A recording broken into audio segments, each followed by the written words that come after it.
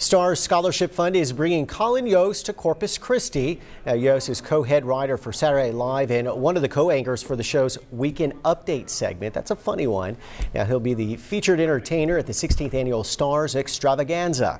That's happening Saturday, April 27th. The extravaganza is the principal fundraiser for the nonprofit organization's scholarship fund. STARS has helped send over 15,000 South Texas students to college.